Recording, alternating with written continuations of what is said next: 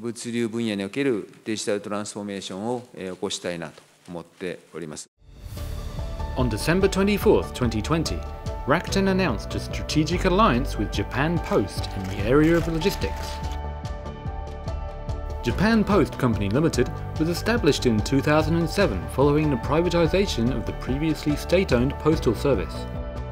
As part of the Japan Post Group, it currently operates more than 24,000 post offices across all prefectures in Japan, alongside savings and insurance services.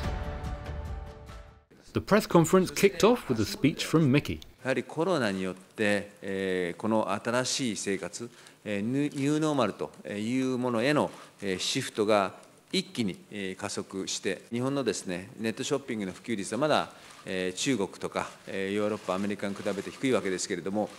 これによってですね一気にいわゆる流通の20%程度まで一気に成長するのではないかなというふうに思っております。いかに安定的に配送網を確立していくか、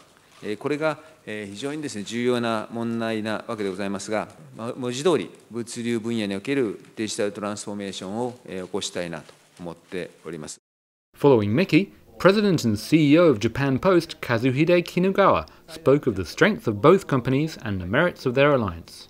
私どもの唯一無二の強みである全国2万4000の郵便局と物流のいわばリアルなネットワークそれに楽天様の強みでいらっしゃるデジタル技術とデータ活用のノウハウをこう組み合わせていくとリアルの強みが一層強化できるのではないかと考えているところでございます。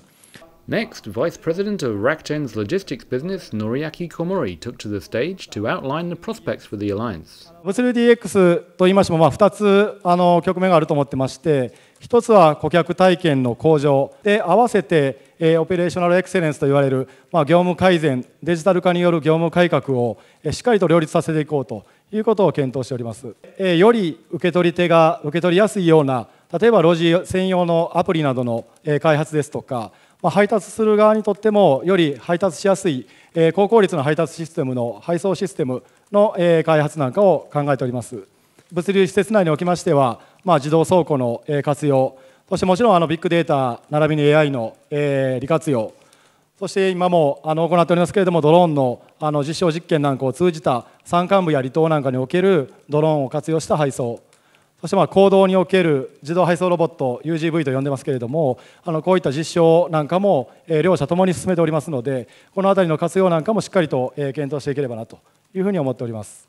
こうして構築していく新しい物流 DX プラットフォームの共同事業化、まあ、つまり合弁会社の設立も視野に含めてですね検討を深めてまいりたいなと思っております。Finally, President and CEO of Japan Post Holdings, Hiroya Masuda, shared his expectations for this new collaboration.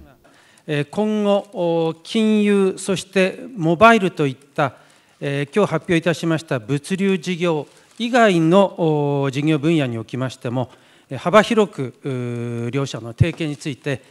協議、検討することといたしました。具体的には、例えば金融分野におきましては、キャッシュレス決済サービスに関する連携の可能性について協議検討していきたい楽天モバイル様の事業拡大に資するように全国の郵便局ネットワークの活用策についても協議検討してまいりたい最高のパートナーではないかとこのように考えているところでございます。As e-commerce plays an increasingly central role in people's daily lives, This digital transformation of its supporting logistics services looks sure to attract great interest and expectations in the years ahead.